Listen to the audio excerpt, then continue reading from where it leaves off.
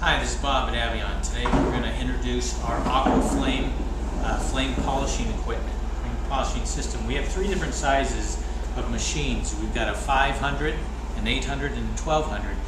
Um, the difference between the machines is as they get bigger, you you can cover a, a wider surface area during the polishing. Today we're going to demonstrate our Model 500 Aquaflame machine, and what we're going to show you is how the to introduce the chemicals to the machine. So there are three different chemicals that you need for this. We don't use oxygen, hydrogen, or any of the gases. We're using chemicals that when are mixed together produce a gas within the machine. That way we don't have the storage of the gas tanks. Um, the chemicals needed for this are uh, MEK, potassium hydroxide crystals, and these are both reagent grade and deionized water. And in just a minute, we're going to start out with uh, mixing of these, and we're going to put them into the system and show you all how it uh, all works. When we're loading the chemicals into the machine, is we're going to mix our potassium hydroxide crystals. We need 300 grams of those based on the information that we have, and the deionized water. Um, when we get that mixed in here, we're going to put it into this container up here. And on the front of the machine, you'll see that there's a top up and a full. We're going to look for that water to rise up to the top up level there. When we're adding these chemicals, it's important that you have the gloves, the face mask, or the respiratory and the eyewear to make sure that you know nothing happens uh, as you're working with the chemicals. So we're going to start out with this. Now that's my 300 grams of chemicals and I'm going to fill then to one liter for this size of machine. Again, these uh, measurements are going to change by the size of the machine that you have.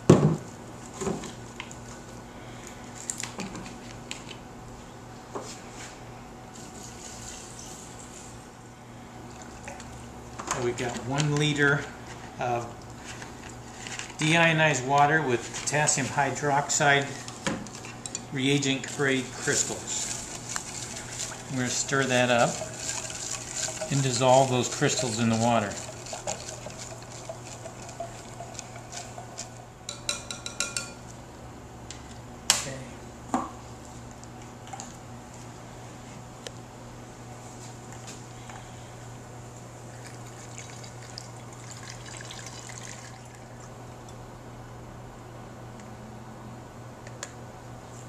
Okay.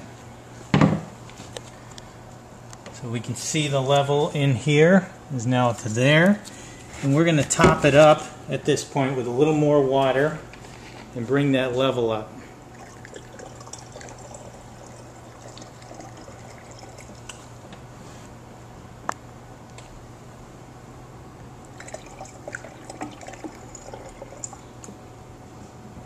Okay.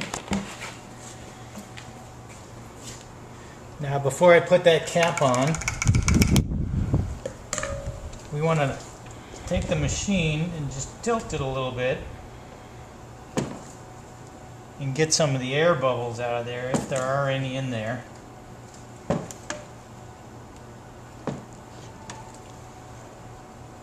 And then we can cap that off.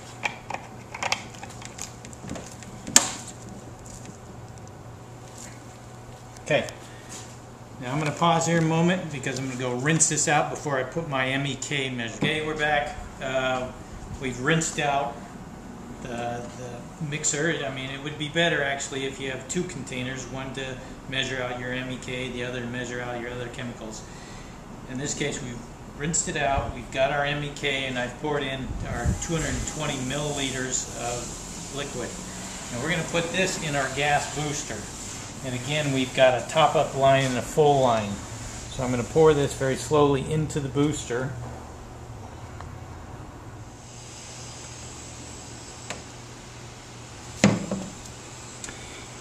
And we can see the level is just coming up right there. And that's about where we want to be. It's important that we do not overfill this tank. So like we did on this machine, we're also going to tilt it a little bit, front and back. And see if we can remove any air bubbles that might be in there before we put the cap back on.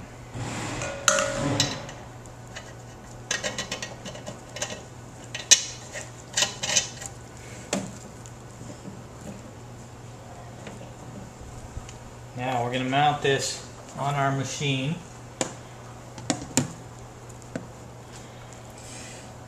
And we've got our lines ready to go here. We've got a gas out line that we've already attached here. And we're going to attach that here to the gas in. So it's once the gas is produced in the machine, it's going to come through here and out through this line to our torch.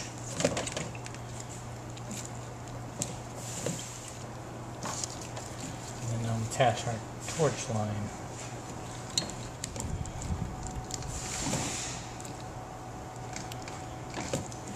Okay, so we've got our hoses attached now, we've got our torch attached, uh, and the chemicals are in the machine.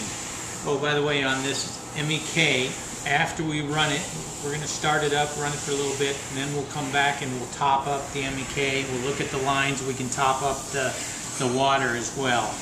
Um, so, right now we're going to plug in the machine. Ready to turn it on. Uh, before we do, the torch must be closed, and we've got a tip already on here. This is our number 20 tip that we've chosen for this. The size of the tip will determine the area that you can polish. When we're ready to open up the torch and polish, this gas production light will, will blink periodically.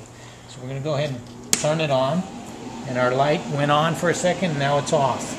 And both lights are off because the torch is closed.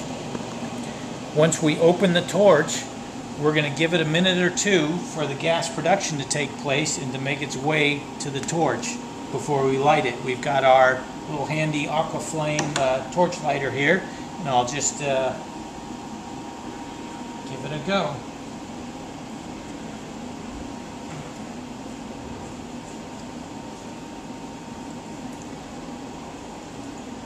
Okay, there it's starting to blink periodically. Lit it for a second. There it goes. Okay. And we've got the flame.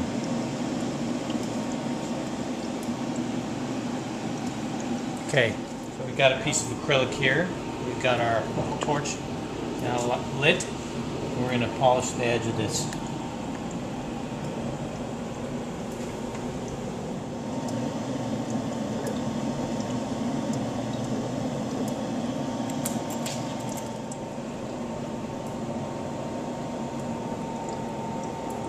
Okay.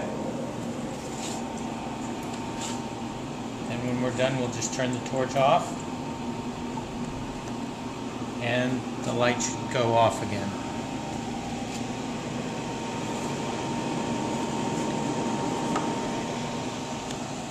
Okay, so we've finished uh, polishing the edge of our acrylic here. Um, I've turned the torch off. The, both lights are now off. I'm going to turn it off. And one thing to mention is uh, I had mentioned before that the level we stop here, it, it goes up when the machine is on. So um, we'll top that off periodically in the future if we need to, or top off the water, but at this point we're good. Thank you very much for joining us. That's our Aquaflame.